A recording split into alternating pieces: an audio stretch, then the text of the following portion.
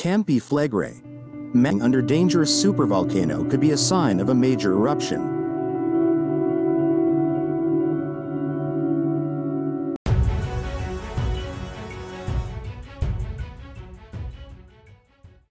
One of the world's most dangerous supervolcanoes appears to be accumulating magma as it transitions to a pre-eruptive state, according to a study. Scientists aren't saying a major eruption is imminent, but they do say that current conditions at Campi Flegrei suggest an eruption could occur at an unspecified point in the future. Campi Flegrei is one of the world's few active supervolcanoes. It's located in southern Italy, about 9 miles west of Naples, which is home to about 1.5 million people.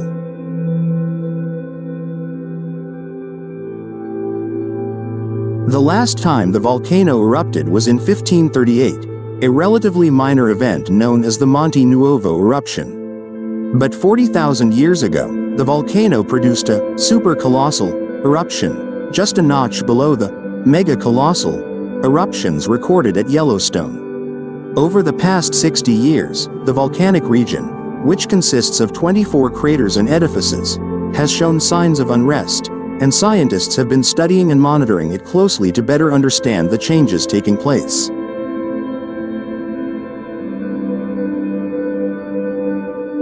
In a study published in Science Advances, a team of researchers led by Francesca Forni of ETH Zurich in Switzerland examined rock, mineral, and glass samples taken from 23 eruptions at Campi Flegrei, including the two largest in the past 60,000 years. By analyzing the elements in these samples, the researchers were able to piece together a picture of what happened before and after the eruptions.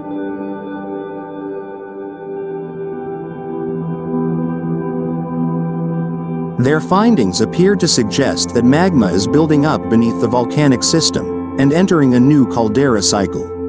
This could indicate that the volcano is moving into a new phase that will result in a major eruption at the site, the team says. The study does not suggest that an eruption is imminent.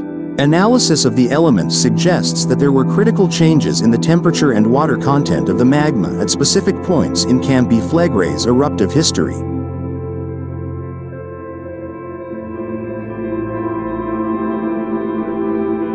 The minerals in the magma were found to have decreased over time, while the water content increased. They found that this occurred before the Monte Nuovo eruption. The team notes that after the Monte Nuovo eruption, Campi Flegrei entered a new phase of inactivity. Since the 1950s, there have been three periods of major unrest, raising concerns that the volcano is reawakening. The movement of magma from depths of about 5 miles to 1.8 miles has previously been blamed for these unrests.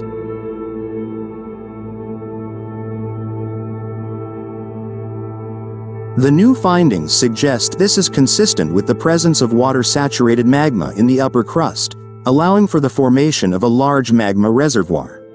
We propose that the subvolcanic plumbing system at Campi Flegrei is currently entering a new phase of formation, which could potentially culminate, at some unspecified point in the future, in a large volume eruption, they conclude.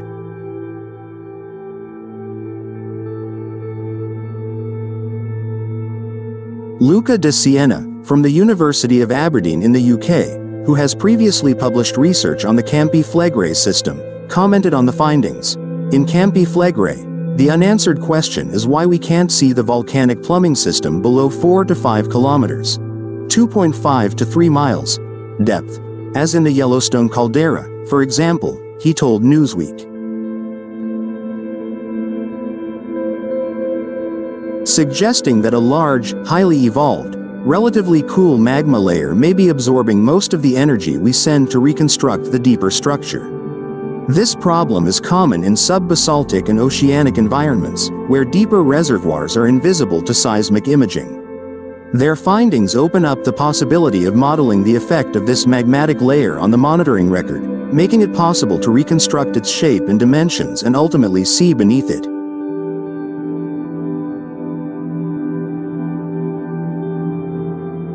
Volcanologist Christopher Kilburn, from UCL in the UK, who was also not involved in the study, said the results were consistent with observed changes that have occurred during previous eruptions, It thus provides an alternative interpretation that should be tested against conventional ideas.